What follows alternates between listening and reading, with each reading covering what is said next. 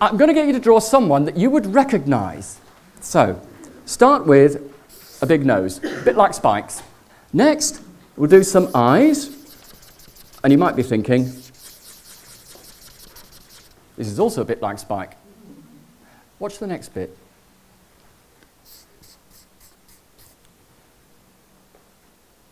You're getting warm? Mm-hmm. There you go. Little line down there. Down here. Little V shape. Line to the left, line to the right. Then you've got Albert Einstein. you've proved that you can you've proved that you can draw. When you walked in here today, many of you didn't believe you could draw.